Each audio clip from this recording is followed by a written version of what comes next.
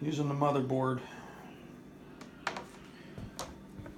Caught a couple nice, nice perch through the ice today. Measure one up. Talking, it's 11 inches or so, 11 and a half.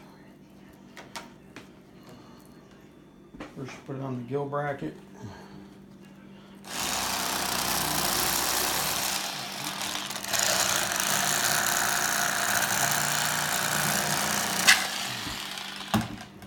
Even fillet. Flip it over and put it in a notch. I'll hold that securely in place.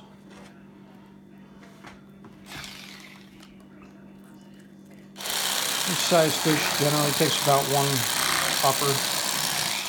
So you get into some bigger fish to get a seven flat.